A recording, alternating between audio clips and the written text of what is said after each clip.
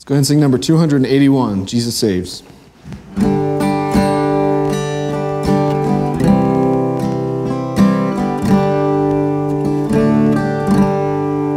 We have heard the joyful sound.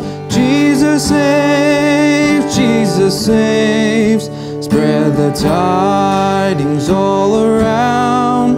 Jesus saves, Jesus saves.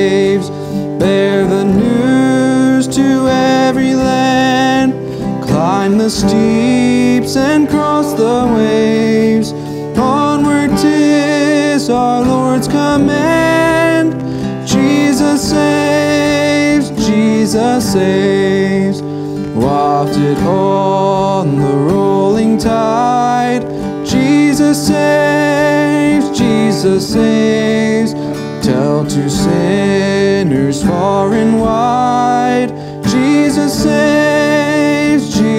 Saves. Sing ye islands of the sea, echo back ye ocean caves. Earth shall keep her jubilee. Jesus saves, Jesus saves. Give the winds a mighty voice. Jesus saves, Jesus saves. Now rejoice. Jesus saves, Jesus saves. Shout of salvation full and free. Highest hills and deepest caves. This our song of victory. Jesus saves, Jesus saves.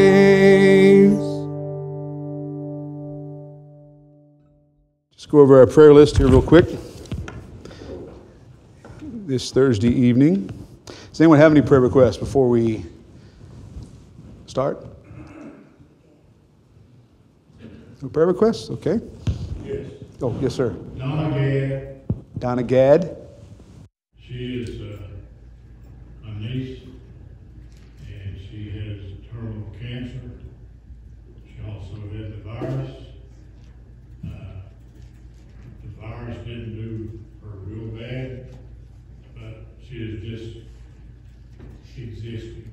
Okay. Just Donna Gad. Remember her and her family, and uh, remember her mom. Okay. Donna Gad. All right, on our list we have uh, again uh, all kinds of. Here we go. Sam, uh, sorry, scrolling down. Sam Barton, Hunter, and Logan Barton on our prayer list. Skip Dalton, Loretta Susie Gregory, and her son Michael. How's Michael doing, Miss Tina? Doing good. Okay. Okay, good. That's great. All right, Alexis Huffman, Myra Amy and her family, Brandy Tyrier. Sylvia mentioned, I mentioned it last two weeks online. It's hard to tell who watches online. I know everybody gets busy, so sometimes when we go online, I don't know if everyone hears the prayer request or, or not. But uh, uh, Miss Sylvia mentioned her Aunt Helen's family. Uh, her aunt would be 102, and her grandson lost his wife to uh, the virus. So keep their family in prayer. Um, uh, Brother Larry, how's your back doing? Doing good. Okay, good, good. Not a good time for back pain and back problems and all the snow that we've been having. So uh, let's pray for Brother Larry's back as it gets better. Um, Miss Vicky, you're feeling good? Amen. All right, Miss Vicky had a fall out front, and uh, yeah, this weather is just. No one told me about this last year. No one mentioned the weather in Bland. Everybody said, "Oh, it's a mild winter in Bland." Don't. It, it- it's okay. Yeah, that's. We told you when it came here. My kids have seen more snow than they've seen in their entire life in, in, in, in one year, I, I believe. Uh, but it's beautiful, though, when we see the snow. It's, it's amazing. We see how pretty it is. And uh, yeah, we've seen, you've seen more snow in, in the last three months than you've seen in 21 years. Yeah. Uh, pray for uh, Don Pruitt, uh, Miss Ann, and, and her sister Louise. Pray for Brother Gary and Miss Sylvia. Pray that they have the opportunity to get back in church because they've had a lot going on. And uh, Brother Gary's knee, then to his toe, and then Miss Sylvia's had some health concerns. And let's pray that they uh, are able to get back in church and pray for Brother Gary's healing. Uh, Brad Sargent, let's pray for him. He had some surgery, I guess a biopsy that turned more into a little more involved than what they had thought. And, and he, they kept him overnight. I believe he's home now. Had some problems with his oxygen. Like when it can't get worse, you get home with oxygen and you can't get your oxygen to work. Can you imagine? Let's keep Brad and uh, in our prayers. Also, Miss Diane and Brother Bob as they help take care of Brad with everything that's going on there. Uh, those uh, pray for Miss Wanda and all those in our church family who uh, suffer have suffered the loss of loved ones over the last couple months. And uh, it's going to be hard as the months go on, but let's keep all of them in prayer. Pray for Miss Wanda and pray for her daughter, right? I believe I, I just, it's my little time that I was downstairs last night setting up the camera. I heard a prayer request for uh, Miss Wanda's daughters for her health. So let's pray for her. Pray for Miss Wanda. Pray for, pray for Brother Bill and Miss Vicky, Miss, uh, Miss Elsie's family, and uh, Samantha Nathan. Pray for them. Uh, pray for the Reynolds family. Pray for Willie Nelson, who is uh, Miss Alice Nelson's son. Pray for him. Pray for uh, the Miss Diane's daughters uh, and pray for Brother Carol's stepdaughters and their families.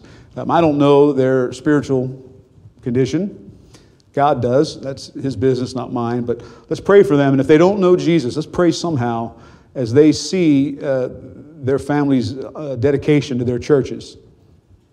Uh, let's pray that through that, they, uh, God will use that to get glory out of all of that situation that took place uh, in December. Uh, of course, Miss Angela's family, her Uncle Larry passed away several weeks ago. Let's keep them. This is kind of an ongoing list I have. Miss Sylvia also mentioned two families here in Bland the Carol, Sing, Carol Sue King Williams family.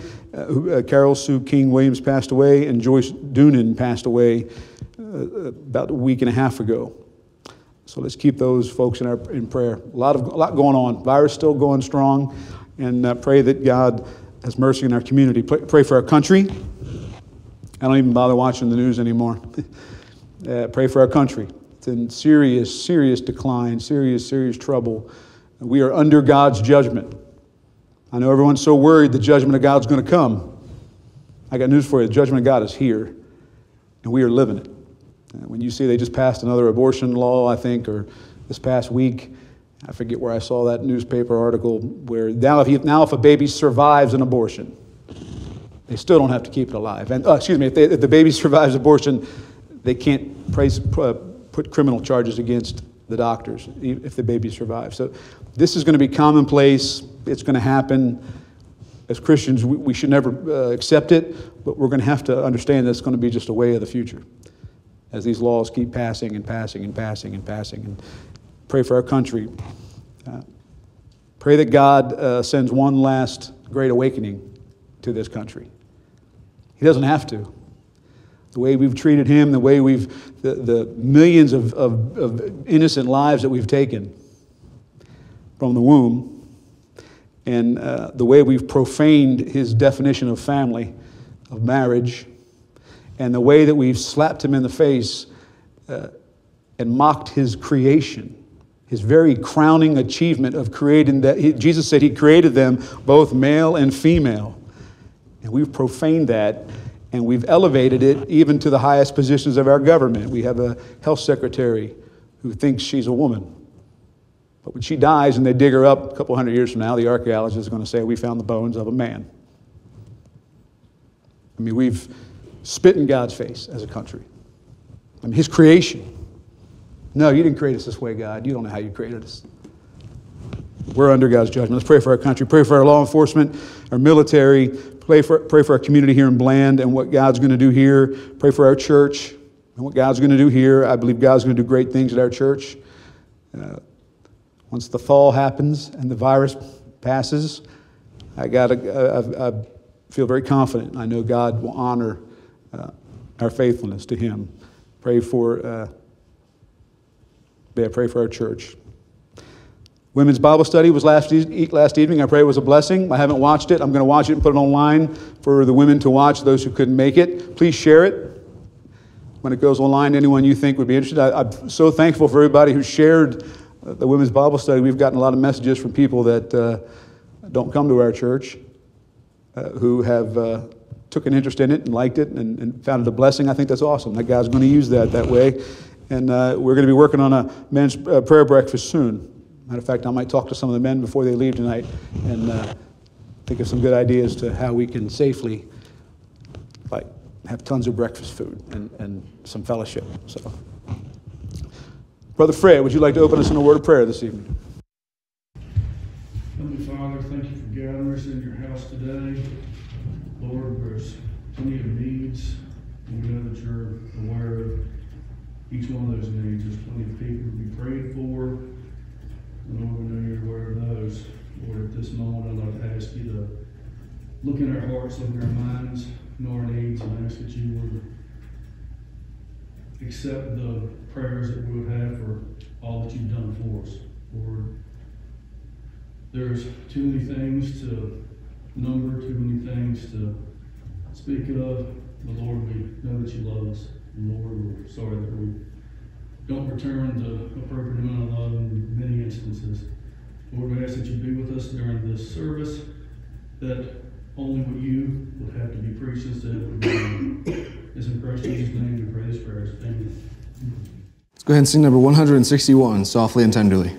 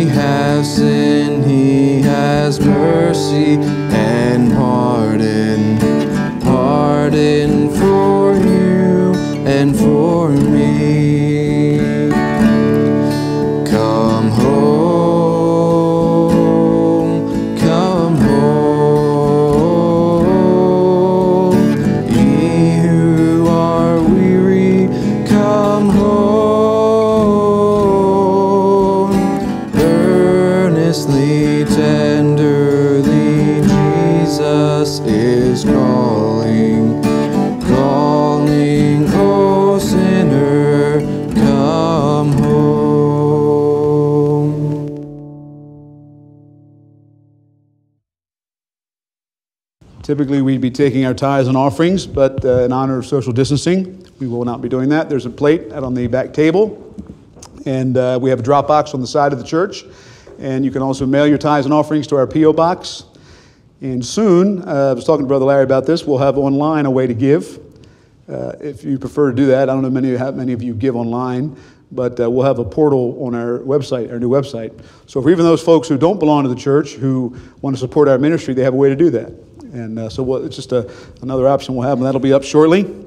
Ian is working on our website, and Delaney's helping there with that as well. So uh, that'll be done. I want to thank, send some thanks out to uh, Brother Bill Majar, who uh, uh, came down here and installed our thermostats. Thank you, Brother Bill. Brother Larry was with him. Appreciate your help. Want to give praise to God that we do not need a new heating unit as of yet. That's a praise. Those heating units, you know, I think of those heating units. Someone said they were 26 years old. Is that true? 26? Older. How old?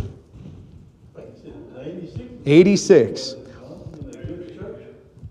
You know, when you read the story of the uh, children of Israel as they wandered through the wilderness, I don't know if you guys ever know this part of the story, but I think it's amazing, this part of the story. God was, was so caring and so protective of those people in the children of Israel that uh, their clothes didn't get old, their shoes didn't get old during that 40 years in the wilderness. They never had to change shoes, their clothes never wore out. Thankful that God has a heating unit uh, that He knows that we don't need a new one. I'm thankful He's kept this one running and thankful that the gentleman who came uh, here, Brother Larry was sharing with me, the gentleman who came here to, to look at the, the HVAC, helped build this church. Didn't charge us for uh, his visit. What a blessing. Randy Compton. What's that? Randy Compton. Randy Compton. That, uh, what, a, what a praise that is that we, you know, God knows that our needs and He supplied. That's awesome. That's awesome. If you have your Bibles, turn to Ephesians chapter 1. We'll continue in our uh, teaching and preaching here from the book of Ephesians. Ephesians chapter 1. Have your Bibles ready, and then Ian's going to sing a song for us, and then we'll get into our message. Oh, sure. Yes, Miss Vicki, go right ahead. Slow down, but mom's uh, results come back and she didn't break anything. Her arms were hurt when she fell. And mine came back, and I still believe there's something going on with them ribs. But anyway, we're good. Everybody's good. What a praise. Anybody else have a praise they want to share? What a, God's a good God. Miss Tina, go ahead.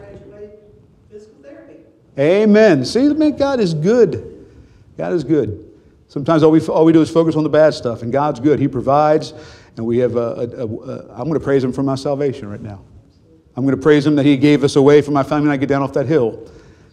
I'm going to praise Him for that. I'm going to praise Him for uh, the, the, the home He's given us, and praise Him for the church that He allows us to serve at. And God's a good God. He's an amazing God. Thankful that my daughter uh, uh, got a job offer from her college. I'm thankful for that. Thankful for so many things. Thankful. Wow. Thank you for that praise. Anybody, anybody else want to share a praise tonight? I'm, I'm ready to go on a little, little praise sharing time if you want. God's a good God, Ian. Right. Thankful for the ones we think of all the praises we don't know about. God's constantly working. He's constantly moving. He's constantly, he's got his hands on the pulse of everything. One things we'll get through from Ephesians that we'll understand is uh, when you get past all the election and predestination, when you get past all of that, all you know is that God, we don't make a move. I think I said last Thursday, uh, those people that don't want to use the word sovereign, they don't sneeze without God knowing that. Think about that. That's how mighty God is. He knows your needs. He sent that man who helped do that. He, HVAC, who helped build this. Uh, uh, when, you hear, when you hear how God puts it all together, it's absolutely amazing. Amen. All right, Ian, sing, sing song for us.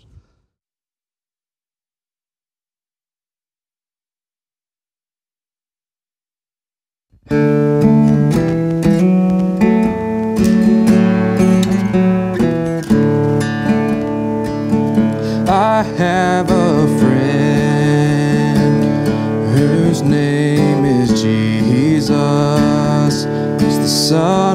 God, my guiding light. And I've read the book that tells his story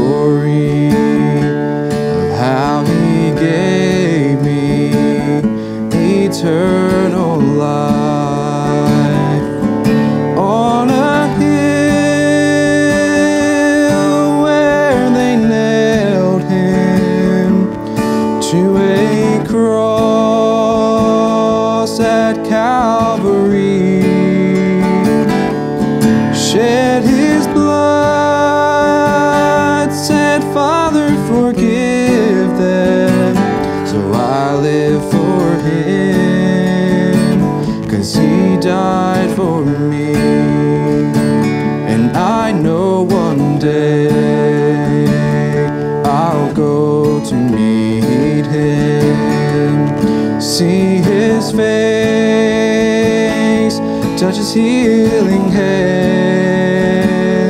But for now, I'll toil and labor till all that's lost will understand.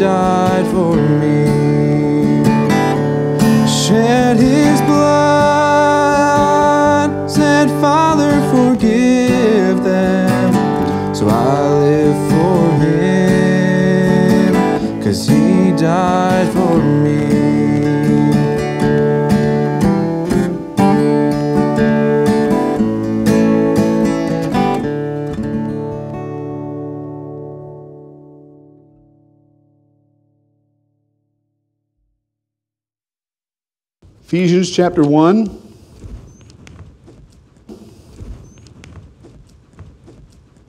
Please stand in honor of the reading of the Word of, God if you're able. If not, please remain seated.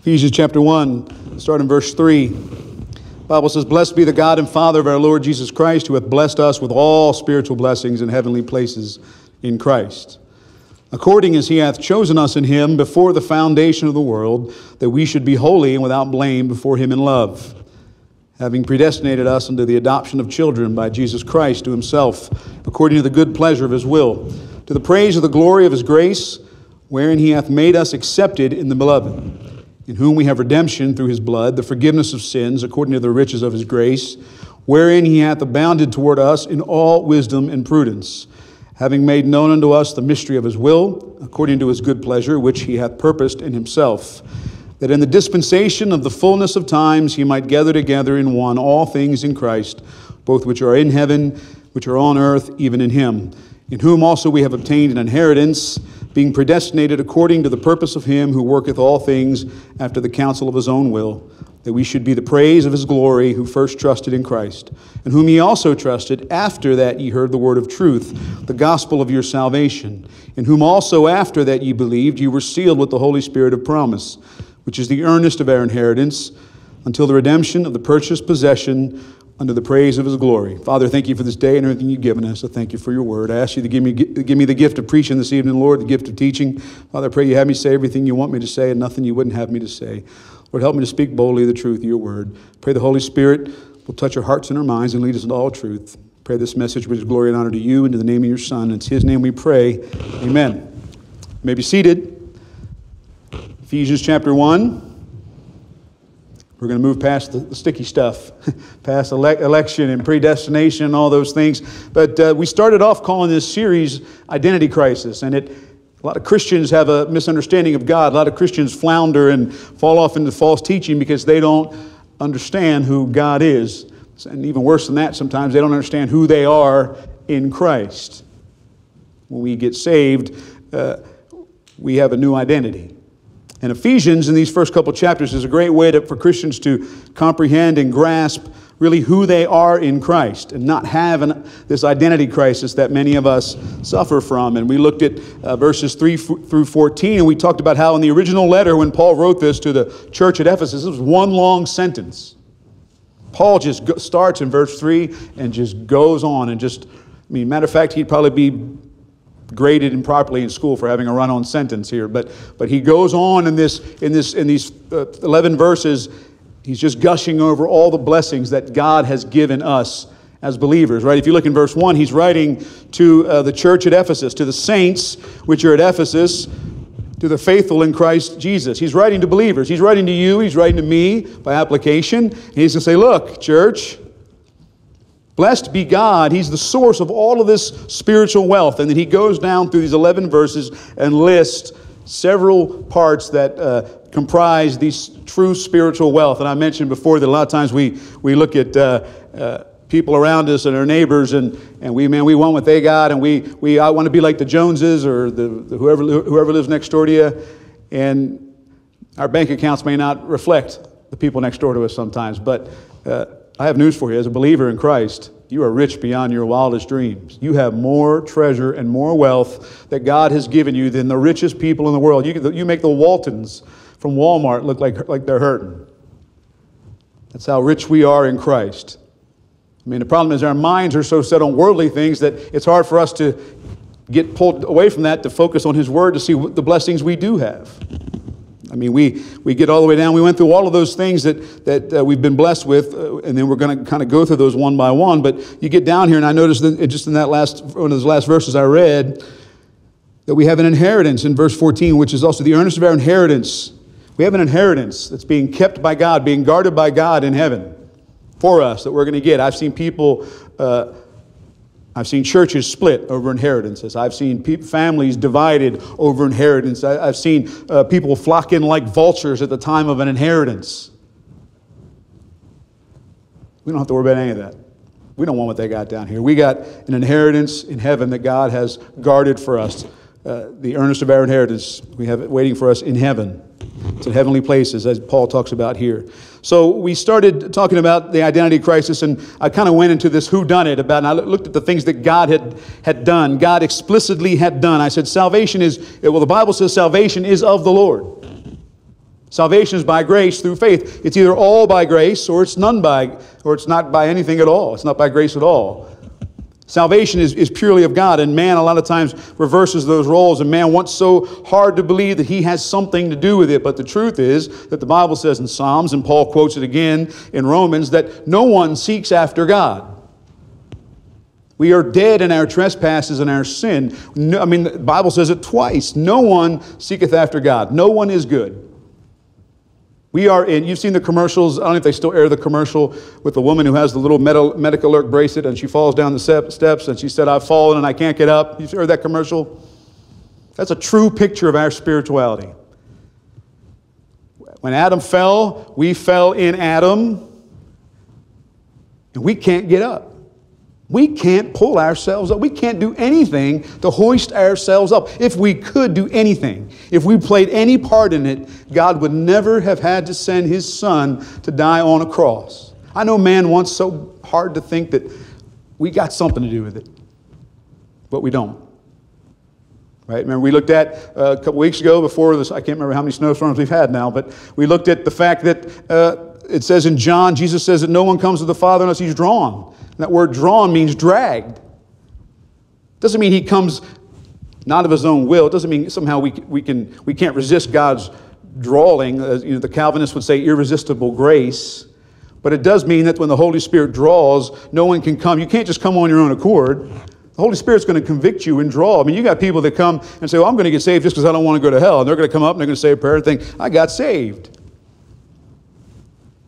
I did it. I walked up, everybody else walked up. It was kind of cool. I don't even know why I did it. I just didn't want to go to hell. They call that a get out of jail car, uh, get out of jail free card. When I was in school, they called that fire insurance. Salvation is not fire insurance. But man thinks he can just come up and do whatever he wants. I mean, the, thing, the truth is, no one comes as the Father draws him. The thing is, if you look back at when you gave your life to Christ, when you first trusted in Christ, there was probably a time in your life where the Holy Spirit got a hold of you and let you realize that you were a dirty, rotten sinner. And that you had no ch- chance on your own to somehow get to God. And you felt that draw from the Holy Spirit, something that made you maybe, something maybe, maybe, maybe it made you sit in your seat and bow your head and say, I put my faith and trust in God. Maybe it draw, maybe it drew you out of your seat to, to an altar. I have news for you. I happen to believe when somebody gets saved and they walk to the altar, if they walk to an altar, I have, I have a feeling they're saved before they even stand up out of their seat. They've repented in their heart. They've realized they were sinner. They stood up and they walked up just to make a profession. But the thing is, I'm sure if we went around this room, people could testify when God got a hold of you and let you realize what you were and how you needed Him. We have people today that don't even know they're sinners, they just don't want to go to hell. Well, I'm going to, I'm going to do this because I don't want to go to hell. I don't even know who Jesus is. I don't even know what He did. I just don't want to burn. That's not salvation. That's not salvation. So, the point of all of that was to say this. We looked at three things that God did. He says here, Paul says in God's word, this is God's word. And I want to tell you, when you get in this first just these first five verses of the book of Ephesians. I mentioned it last Thursday night on, on the YouTube message. We are getting into territory, into depths of spiritual territory that we can't even fathom. These, these first couple, when we read these verses, I mean, some people will argue over these doctrines so much so that, that they'll break up friendships over it, they'll leave churches, and they'll, men have been arguing for hundreds of years over these, these couple, several verses. But the truth is, we're not meant to argue over these verses. These verses right here that Paul's reading that talk about election and predestination, right? These verses don't tell you how to get saved. They don't tell you you can't get saved either. These verses don't say, well, only God's going to select a few and the rest he's going to send to hell. they don't say that. That's not what Paul's talking All Paul's saying, look, blessed be God for all these blessings he given, he's given us. This is what spiritual wealth is. And let me just tell you about him. And then he goes 11 verses. It's not meant for men to fight over and, and dispute. This is just Paul telling you the way that it is. And when he talks about something that happened before the foundation of the world, let's be honest. The only way we can know anything about what happened before the foundation of the world is if the Holy Spirit reveals it in His, in his Word. None of us were there. When you start talking about things that happened before the foundation of the world, you're talking about depths that we can't even fathom as men. Right? We can't even begin to be, think what happened before the foundation. This is before God even said, Let there be light. Holy Spirit's just giving us a little glimpse into how good God is. So he, the things that we said, part of our identity crisis about this who done it, these first three things that God did, and what we're going to see, by the way, is that in this first chapter of Ephesians, Paul's going to go through the Trinity. He's going to go through the Father, and he's going to go through the Son, and he's going to go through the Holy Spirit, and he's going to show you things that each one of them did. Right? Look, here I'll show you the ones that God did. We talked about it. Verse 4 According as He, that's God, hath chosen us in Him before the foundation of the world. For your identity crisis, if you have a problem with your identity, know first that you're chosen. God chose you before the foundation of the world. The minute you get saved, by the way, you now know you were one of the elect. we don't preach uh, I mentioned last week, God has nothing to say to a lost world about election. He has nothing to say to a lost, lost world about predestination. See, some people think of this doctrine as it's, it's pushing you people away and it's showing how mean God is. You see, they think, well, God's telling me here that He's chosen this person, but He's chosen this person to go to hell. But it doesn't say that. Matter of fact, that's not even a gospel message because who's Paul writing to? He's writing to the saints at the church at Ephesus. He's writing to Christians. He's saying, Christians, look, You've been chosen. God chose you. Matter of fact, He marked you out to be a son or a daughter by adoption. And He's made you acceptable in the beloved because we can't make ourselves acceptable. If we could, Christ would not have had to die. Some people look at this as, as, a, as, a, as a way, a roadblock, and how it shows how cold and calculating God is, and He's up there with puppet strings, picking and choosing who, who's going to go to heaven and who's going to go to hell. And that's not what this passage is about at all. Please understand that. It's, uh, uh, uh, it's, uh, he's not talking about that. He's just saying, look, this is what God has done. You should be thankful. God chose, we were chosen. He also says we were, we were marked out because that word predestinated means marked out. God marked us out unto adoption of children by Jesus Christ. Remember, you go through that door that says whosoever will, right? We don't preach election for salvation, do we? When we go out and, and share the gospel with folks, we don't, we don't pull up Ephesians 1 and say, I'm not sure if you're one of the elect. If you're not, then you're not even going to care about this. I won't even talk to you. Maybe you're one of the elect. Let me tell you about the gospel. We don't do that. That's not what the gospel is. We're told to preach the gospel to every creature. And the gospel message is whosoever will, right? Whosoever will. That's what the doorway says when you go in. But when you turn around, it's going to say, whom he foreordained, who he foreknew, he hath chosen before the foundation of the world. What's on that other side of the door is not for our minds to fathom. So God's chosen us, He's marked us out, and He has made us accepted in the beloved. So we're chosen, we're marked out, and we have been made accepted. So if you have an identity crisis, think of that. You were chosen. God knew His church. Remember, He knew. We, many people think that when, Adam, when Eve ate the apple and gave it to Adam, and Adam ate the apple, and the whole fall took place in Genesis, that God had to some, somehow sit down and come up with a big plan B. What am I going to do now? It was good in Genesis 1, and in Genesis 3, it's not good. What am I going to do now? Oh, no. I got an idea. I'm going to send my son. No, that's not how it happened. God knew. Because he tells us in the New Testament, again, something else that happens before the foundation of the world that we would never even, uh, weren't even there, we can't even fathom it. It's a mystery that Paul's being, being revealed by Paul through the Holy Spirit, that there was the lamb that was slain before the foundation of the world. He knew that Adam was going to fall. He knew that man was going to fall, but it's no problem because he had the lamb slain before the foundation of the world. Not only that, he knew each member of the church because he chose them in Christ before the foundation of the world. I can't explain that to you. Don't let your brains get hooked on that. That's just who God is. Okay, he's chosen us, he's, he's marked us out, he's, uh, and he's made us accepted. So I want to go into look tonight a little further into this verse and finish, pa- now that we're past this election and predestination. I want us to look at uh, some of the reasons why he did that, because he's going to give us two reasons why he chose us before the foundation of the world. I want to look at that tonight. I want to keep going. So we're going to be tonight in this, in this second half of verse 4. According as he hath chosen us in him before the foundation of the world, that we should be holy and without blame before him in love. So why did he? We know who did it. God did it. But why did he do it? Why did he do it? Why did God choose us before the foundation of the world? One of, one of the biggest false uh, accusations that's brought against uh, this doctrine of election when people argue over this is that it weakens our morality. That's one of the arguments that use. I think it's a crazy argument, but they'll say, well, if we were chosen, we were already, if God already chose us, this is pretty cool because we can live any way we want because we're chosen.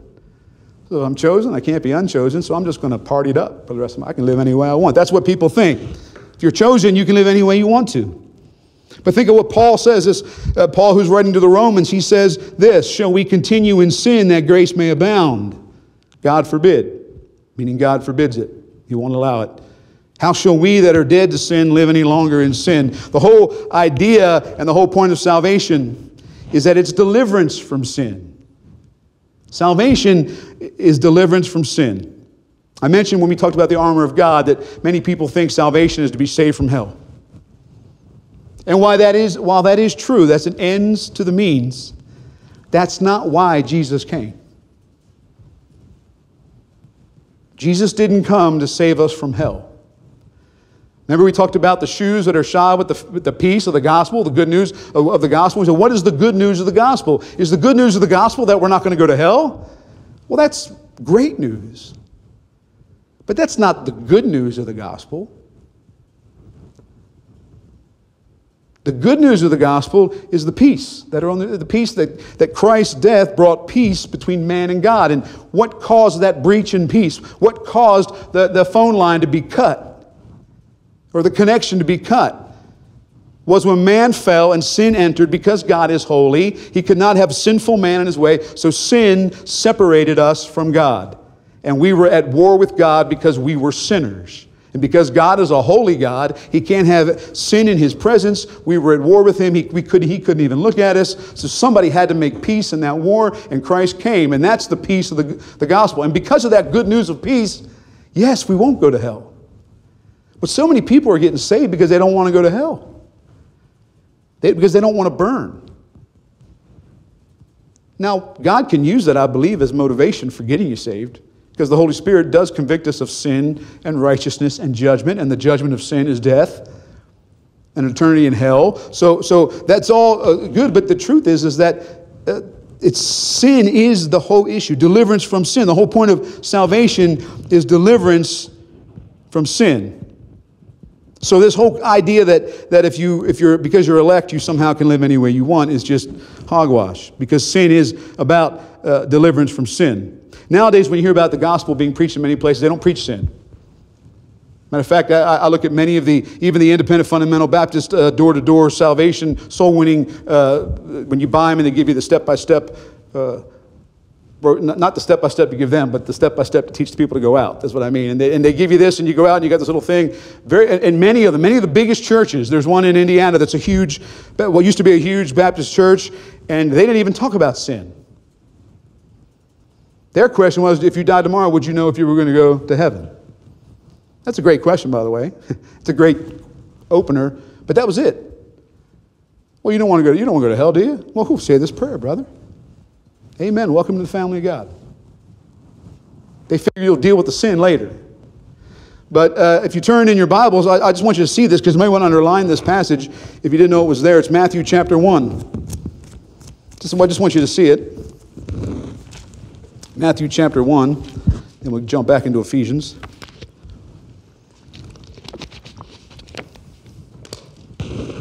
Matthew chapter 1, verse 21. I want to show you why Jesus came.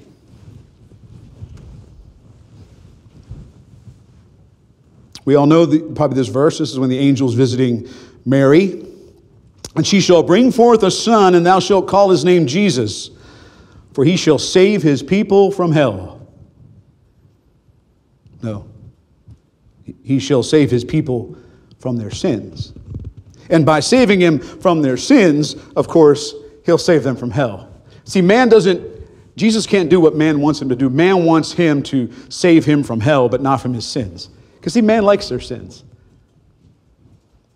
I'm going to say this prayer. I'm going to get into the whole Jesus thing. I'm going to get saved from hell. But you know what? I still like my sins. But it's all good because I'm saved from hell now. That's how man thinks.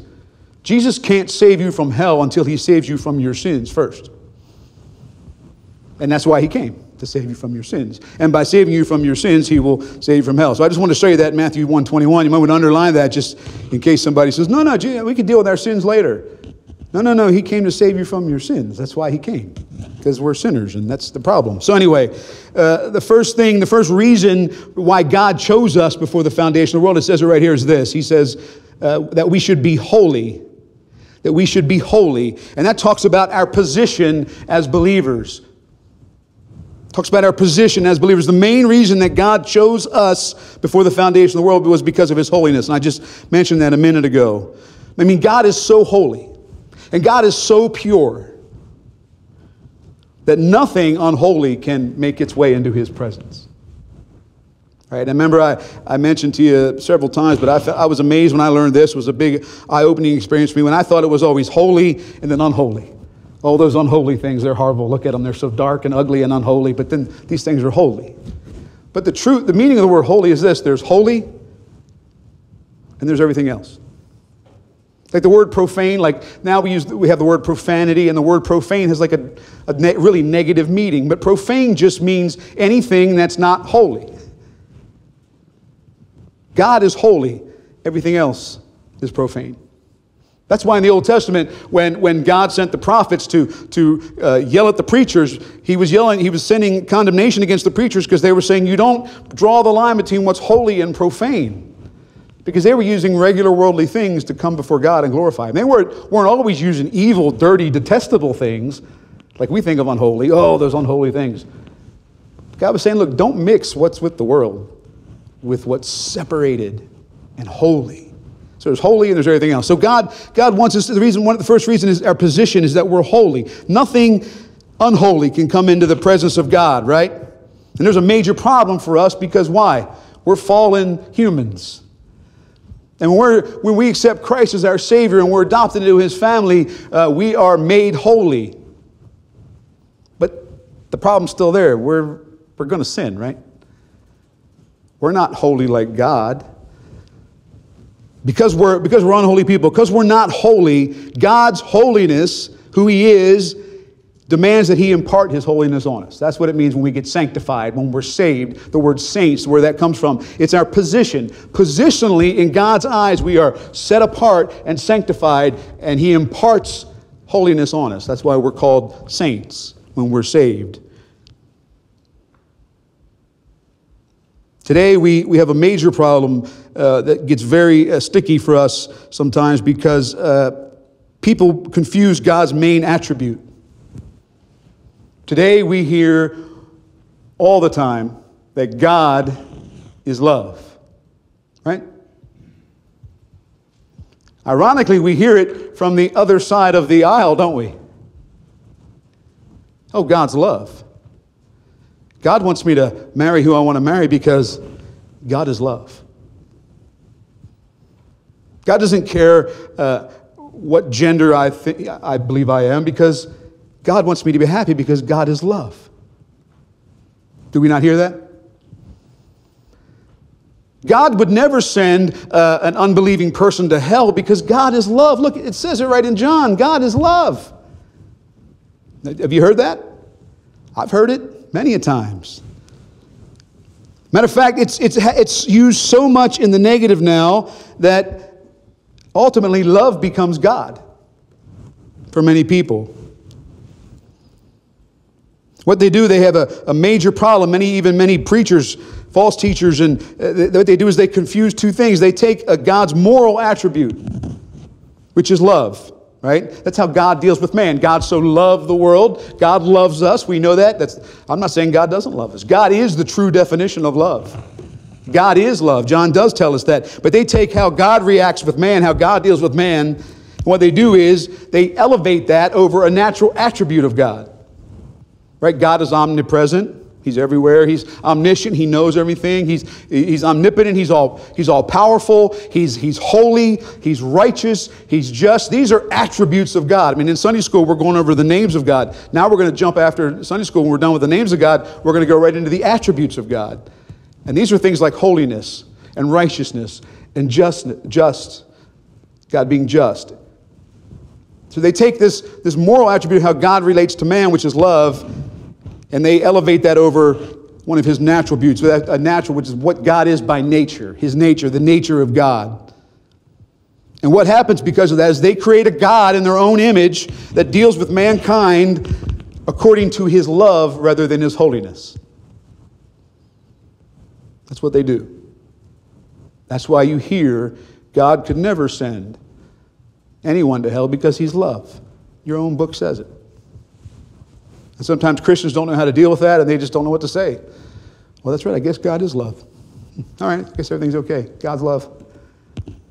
That's why I see so many of our churches crumbling over where their, their stances on things that always, that the Bible is a black and white stance on. God's word doesn't change. He doesn't change his view on marriage. He doesn't change his view on what he created, male or female. He doesn't create his view on murder versus, versus uh, what murder is. He doesn't change. His word doesn't change. Man changes all the time. But God's word is still as true today as it was when it was penned several thousand years ago, as it was, as Psalm says, before the foundation of the world. God's word is forever settled settled in heaven. Matter of fact, before even the first word of Genesis was written, this book was done in heaven. Matter of fact, God's love, uh, this whole concept of, of God being love and it overshadowing His holiness, well, you know, th- that has to do with Gen- uh, the Genesis uh, 3 situation with Satan. Because it's a very subtle lie. Because it's very hard to argue with somebody over how God's not love know what I'm saying? It's a very difficult argument, isn't it? If you've, ever, if you've ever been in that conversation, well, I believe they could be married to whoever they want because God's love. Yeah, but no, God's love. And then it's a very hard argument. It's very subtle. The devil's very subtle because he traps you, just like he said to Eve. Did, did God really say you shouldn't eat of that? Did he really say that? Let's rethink of what he said. That's how it's presented to us today. It's very difficult, it's very subtle, but God's love, the fact that God is love, is the fact that's all rooted in the fact that He is holy. I want to read a couple verses. You know, in the Old Testament, uh, actually, let me go back. Let me back up. In English, in the, in our English language, if we want to express something in its superlative form, right, we usually add the words est at the end, right? Holiest, right? Or that guy is the slowest guy on the court right? Or we'll say most. He's the most, you know, uh, the most. He's the slowest, or he's the the most quickly person, you know, whatever the case. You know, I mean, we add most or est. That's how we make something its superlative point. In the Old Testament, in Hebrew, matter of fact, I want you to understand this, is that when they wanted to create the superlative of a word, they didn't have est or most it, it back in, in, in, Hebrew. So what they did was they would repeat a word uh, three times. In Hebrew, that's the way they would do that. To get their point across and saying something is the holiest, they would say, Holy, holy, holy. In Hebrew, that's how you would say, That's the holiest. And in, our, in God's Word, I want you to, to think of this real quick, or look at this. I think we'll turn to it. Isaiah 6 3, we'll turn to this. We're going to close here just in a few minutes. I just want us to prove, establish this holiness position of God. Isaiah chapter 6, verse 3. We'll read it. We're going to talk about these seraphims. Verse 2, it says, uh, Above it stood the seraphims. Each one had six wings. With twain he covered his face, and with twain he covered his feet, and with twain he did fly. And these angels that are around God, it says, And one cried on another and said, Lovely, lovely, lovely. Nope, doesn't say that, does it? All right, and one cried unto another, and it said, Gracious, gracious, gracious. No, doesn't say that either. Isaiah 6, verse 3 says, And one cried unto another and said, Holy, holy, holy is the Lord of hosts, the whole earth is full of his glory. Holiness is God's one attribute that allows him to be just, that allows him to be righteous, that allows him to be loving. That's holiness comes first. Holiness, I want to show you another one. You don't have to turn there, but if you want to, you can. Revelation 4 8. We're going to get into a little end times uh, uh, imagery here in Revelation chapter 4, verse 8. Actually, I don't think it's imagery at all, I think it's quite literal of this scene that we see.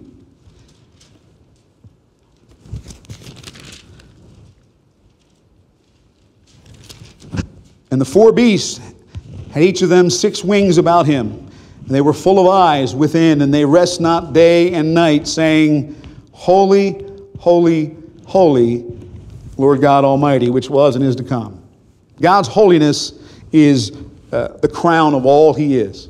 The fact that He is holy. And many people today strip God of His holiness and throw it over here somewhere in the corner and just want to deal with a God who's love, love, love, love, love. A God that has no right, a God that ha- won't judge, a God that has no righteousness, a God that, a, a grandfatherly guy that's going to just pat you on your back and send you on your way and say, It's okay. I love you. That's not God's number one attribute. God is love.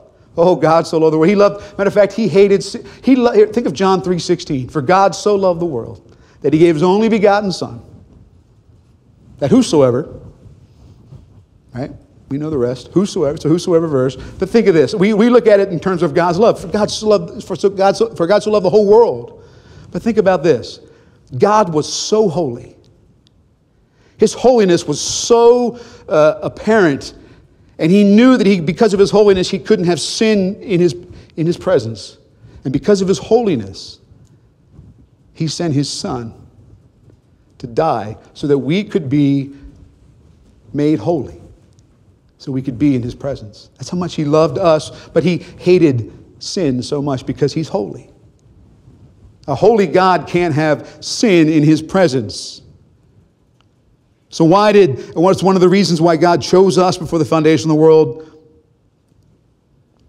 Why did He draw us? Why did we believe? So, God could make us holy, so that we could one day enter into His presence. He's holy. And that's what it says. Again, we'll read that passage in, in Ephesians. For He hath chosen us, according as He hath chosen us in Him before the foundation of the world, that we should be holy. And that's our position. That's our position. I don't want to go any further tonight, but the neg- he also chose us for one other reason. It says here to be without blame. Actually, I can finish this up real quick. It won't take long. Holiness is our position. We're made when we, the minute we put our faith and trust in Christ and we're saved, you're set apart. Brother Bill, you're a saint. Brother Tom, you're a saint. Luke, you're a saint. Don't have to jump through hoops and get your have your face show up in a piece of toast in Rome or something to be voted on as a saint. You don't have to do that. The minute you're saved, you're a saint. Okay? But he also says this according as he has chosen for the foundation of the world, that we should be holy, here it is, and without blame before him in love. Without blame. Without blame. I'll just finish up with this. That's also, that's not our position, this is our practice. Without blame speaks of how we're to live our lives. Because he has made us holy and put us in a position of holiness, we in turn should be blameless. That word blameless, by the way, is a word that means without blemish, spotless, free from faultfulness. That, uh, uh that's the word they used when you brought a sacrifice in Leviticus. When you brought a sacrifice to the altar, it had to be without spot or blemish. That's what that word without blame means. That's how we're to be. That's why God chose us, that we'd be holy, we'd be set apart, and we'd be blameless. In our position, He looks at us as being holy. But in our, in our practice on how we're to, li- to live our lives, we are to be blameless. And I want to no- notice one thing before we close. It says blameless before God. That word before has the idea of looking down into. Remember, God sees everything we do. Sometimes we're like Israel. We think we can do things and God ain't paying attention. God doesn't care. God can't see me here. I know so many kids that won't, uh, you know, they, they, around their parents, they have this wonderful mouth. You get them away from their parents, all of a sudden they cuss like a sailor. My parents can't see me. Isn't it funny? I mean, the same thing at work. We, I mean, I know there's people, they have rules at work about profanity and stuff like that, and, and you have men and women that'll work their whole day at their job and not say a, a, a foul word at all because they think, I don't want to be, I don't want my boss to see me. and then they get out of work and get in their car, and then there they go, they're letting the words fly right and left. Isn't it funny that God's the one who sees them? They're worried about, a, kids are worried about a parent, some people worried about their boss, but yet God is the one who sees them. He's chosen us before the foundational world that we should be holy in our position. He's chosen us before the foundational world that we should be without blame before Him. Remember, God sees everything that we do. Does that mean we're supposed to live uh, a perfect, sinless life? No. That's why John says, I write to you that you don't sin, but if you do sin, we have an advocate, and that's Christ Jesus to the Father. Paul goes through Romans 7. He talks about this battle he faces about. He know he wants to do good, but his flesh doesn't want to do good. He's going to fail and he's going to fall. Right? We're going to sin. This without blame doesn't mean that we're going to just live some perfect, perfect life, but it means we're going to strive to live our, our life pure, uh, with a purity as Christ has. So we're chosen before the foundation of the world, all for Him, that we can be holy, set apart in our position, and without blame in our practice. We're getting a little more picture of our identity, uh, of our identity here. We're chosen, chosen that we can be holy. We, thank, we should be thankful for that, right? We should be thankful that God chose us, that God drew us, that we heard, He allowed us to hear the gospel message one time in our lives. We should be thankful that God gave us a praying grandmother, or God gave us Christian parents, or God put us in a, in a place where we happen to hear the, the gospel. We don't understand how God works all that out. Can you imagine the computer program you must need to program if you're going to program God's providence? This guy Kevin's going to be here at this time, and he's going to go to this school, and then 20 years later, he's going to take this turn and make this left, and he's going to meet this guy. And think of your, think of your test, each of your testimonies. But I'm thankful that God chose, that we're chosen. I'm thankful for that. I'm thankful that we're marked out. I'm thankful that He's made us acceptable, and He made us acceptable, and He chose us to make us holy in our position and blameless, without blame in our practice. Father, thank you for this day everything you've given us. I thank you for your word, the truth that it holds. I thank you for these just the amazing amount of information that's outlined in just these few verses in this book of Ephesians. Father, I pray the Holy Spirit will lead us into all truth. Help us as we uh, spend our time in your word. Let us grow closer to you, Father. I pray you take us home safely this evening. Be with us as this weather comes. Bring us back here Sunday, Lord. We ask this in Jesus' name we pray. Amen.